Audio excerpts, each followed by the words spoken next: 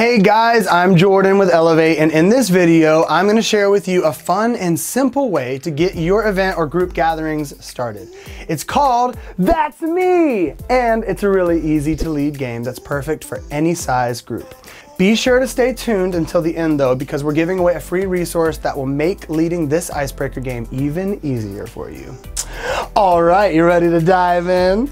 So this is how you play That's Me you will have a list of statements that you'll say out loud. And then if that statement applies to anybody in your audience, they are instructed to raise their hands and say, that's me. So for example, you could say, I'm an only child. And so anybody who's there who's an only child, they would raise their hands and say, that's me. Or you could say, I have a brother, I have a sister. You could say, I was born in this state or I was born in that state. You can choose any place. Or you could say, I've run a half marathon before. Or you could say, I love donuts. And if they love donuts, they say, that's me, because I would say that's me because I love donuts. So that's how you play, that's me.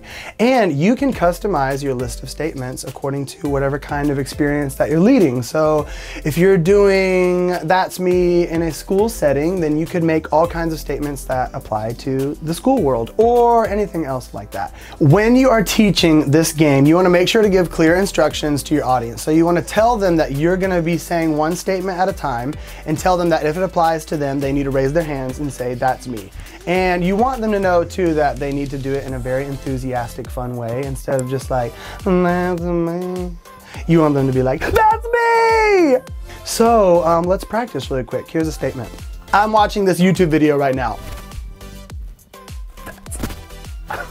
Now, I mentioned a free resource earlier. We've put together a list of That's Me statements that you can use at your next event or group gathering. So you can download this free resource using the link in the description below.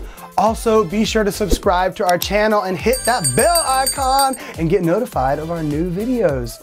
We're constantly releasing new games, event tips, and leadership advice. And hey, if you like this video, give us a thumbs up, drop a little comment below. All right, thanks for watching. I hope this game comes in handy as you lead your next icebreaker game.